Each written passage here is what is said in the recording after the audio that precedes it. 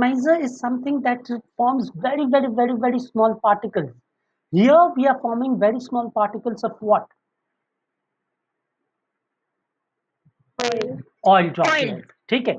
Now normally there is only gravitational force. So what is going to happen to the oil droplets? The oil droplet is here. There is a small hole out here. What is going to happen to the oil droplets? It is going to pass through and fall down.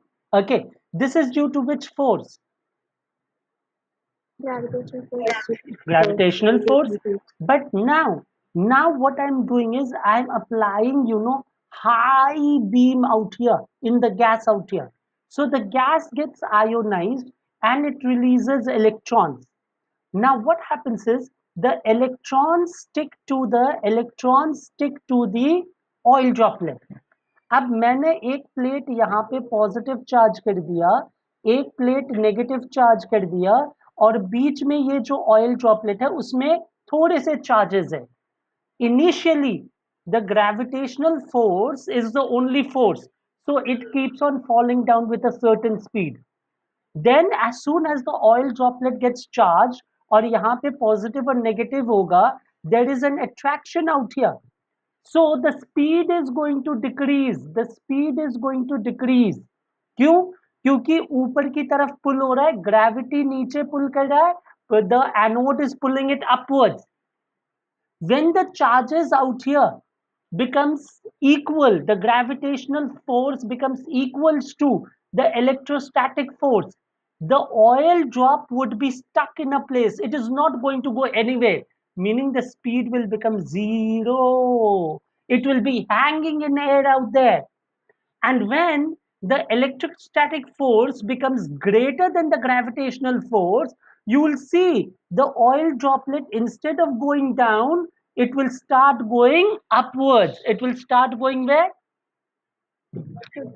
Upwards. Okay. So in Mulliken's oil drop model he actually calculated कि हर oil drop पे कितना charge था and he found out that it was always a multiple of 1.6 into 10 raised to the power of minus 19 coulomb 19 coulomb. so then he came to the conclusion that एक electron का charge is always 1.6 into 10 raised to the power of minus 19 coulombs. So let's look at this one, okay, and see what happened in the experiment. So play, and it's coming. One, two, three. Goom, goom, goom, goom. Why does it take so much a lot of time to load?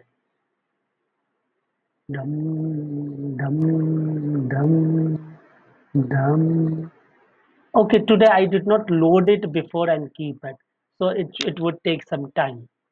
Okay, so let's let's see. Let's give it 30 seconds for loading. In a series of experiments carried out between 1908 and 1917, R.A. Millikan succeeded in measuring the charge of the electron with great precision. In his experiment, a fine mist of oil was sprayed into the upper chamber with an atomizer. Some of the tiny oil droplets fell through the hole in the upper floor, and Millikan was able to determine the mass of an oil drop from its terminal velocity. Next, Millikan used an X-ray source to ionize gas molecules in the chamber. Electrons from this ionization process adhered to the oil droplets. The oil droplets now carry a negative charge. The negatively charged oil droplets can be halted by adjusting the voltage across the two plates. As the voltage across the plates is increased, the velocity of the oil drops slows. As the voltage is increased further, some drops will begin to move upward toward the positive plate. If the voltage is set just right, an oil drop can be suspended. When an oil drop is suspended, its weight, mass times acceleration due to gravity, is exactly counterbalanced by the electric force applied. The electric force applied equals the applied electric field, E, times the charge on the drop, Q. Since the mass of the oil drop, the acceleration due to gravity, and the applied electric field are known, Millikan could solve for Q, which is the charge on the drop. Millikan found that droplets had different charges, but each was a whole number multiple of a smaller charge, equal to negative 1.60 times 10 to the negative 19th coulombs. Millikan concluded that this was the fundamental unit of charge, the charge of an electron. From the charge of an electron and the charge to mass ratio of an electron determined by Thomson using a cathode ray tube, Millikan was able to calculate the mass of an electron.